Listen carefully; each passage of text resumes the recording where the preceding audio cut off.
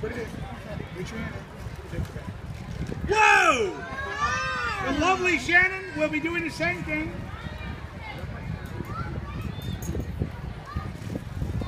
Whoa! Can you give these two a big oh yay? Ladies and gentlemen, Shannon and Grace, will you please go line up? See that lady with the white shirt right there? Line up right over where she is. Both of you next to each other. Not, on, not behind, but next to each other. Ladies and gentlemen, if you would like candy, please line up behind the two girls who are doing the magic. Right over there. Brandon? You can get up there and get candy.